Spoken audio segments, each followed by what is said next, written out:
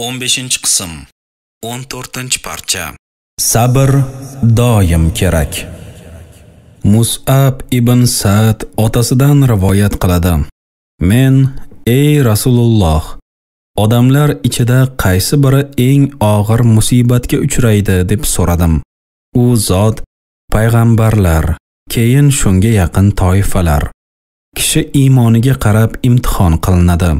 Agar uning iymoni kuchli bo'lsa, boshiga og'ir musibatlar tushadi.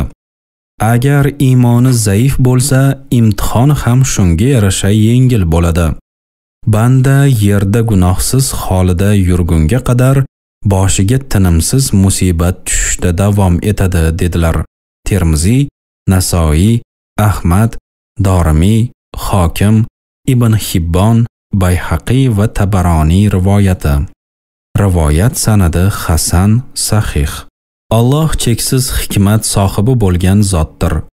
U bandalarni toqatlari yetmaydigan amallarga buyurmaydi.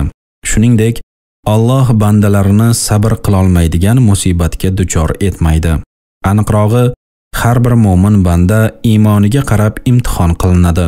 Kuchli iymon egalarini shiddatli musibatlar bilan sinaydi. Iymoni zaiflarni o'z hollariga qarab sinovdan o'tkazadi. Mo'min banda borki, Allohning imtihonidan chetda qolmaydi. Bunda muhimi sabr qilish va taqdirdan nolimaslikdir. Shunda musibat ham, ne'mat ham bandaning foydasiga ishlaydi.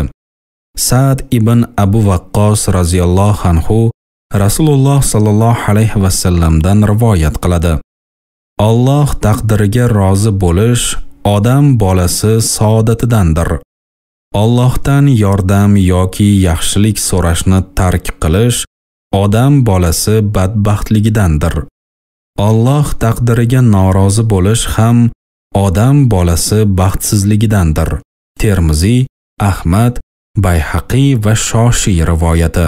Rivoyat sanadi zaif. Ushbu rivoyatda baxt va baxtsizlik belgilari ko'rsatilmoqda.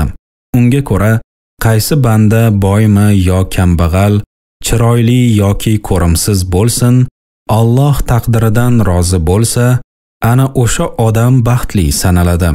Sababi Alloh nimani xohlagan bo'lsa, shunga rozi bo'ldi. Nolimadi va shikoyat qilmadi. Bunday banda jannatni Alloh roziligini qo'lga kiritishiga shubha yo'q. Haqiqiy baxt shudir. Qaysi bir banda taqdiridan norozi bo'lib, kambag'al hamda boy bo'lmaganiga, boy bo'la turib, mol dunyosi bundan-da ko'proq bo'lmaganiga achchiqlansa, nolisa, umuman o'z hayotidan shikoyat qilaversa, u baxtsizdir. Shuningdek, qo'sha-qo'sha imoratlari, turli rusumdagi mashinalari, o'g'il qizlari, nabiralari bo'la turib, Alloh taqdiriga rozi bo'lmagan banda saodatdan bebahradir. Chunki u haqiqiy baxt nima ekanini bilmaydi. Haqiqiy baxtni moddiy narsalarda ko'rib, umrini besamar o'tkazadi. Baxtsizlikning yana bir belgisi Allohdan yordam so'ramaslikdir. Hadisi shariflarning birida duo qilmagan bandasidan Allohning g'azablanishi aytilgan. Kim o'z hojatini Allohdan so'ramasa, u mutakabbir, o'ziga o'xshagan ojiz odamlarga til yog'lamalik qiluvchi yo kalandimoq sanaladi. Tabiiyki, Alloh bunday kimsalarni yoqtirmaydi. Ulardan g'azablanadi. Allohning g'azabiga uchrashdan, u zotning qahrini qo'zg'ashdan ham katta baxtsizlik bo'ladimi? Demak, baxt va saodatga erishish uchun ehtiyojlarimizni qondirishini so'rab, doim Allohga duo qilishimiz, Alloh nimani bersa shunga qanoat etishimiz, bermaganiga esa sabr qilishimiz lozimdir. Zero Alloh biz uchun nima yaxshi-yu nima yomon ekanini o'zimizdan ko'ra yaxshiroq biladi. Alloh bizlarga ota-ona va yaqinlarimizdan ham mehribonroqdir. Abu Hurayra roziyallohu anhu rivoyat qilishicha, Rasululloh sallallohu alayhi vasallam shunday deganlar: Alloh taolo dunyo ahlidan biron jigarbandining jonini olganimda qaysi bir mo'min bandam sabr qilib mendan savob umidida sabr qilsa uning mukofoti faqat jannat bo'ladi deydi. Buxoriy, Ahmad va Bayhaqiy rivoyati.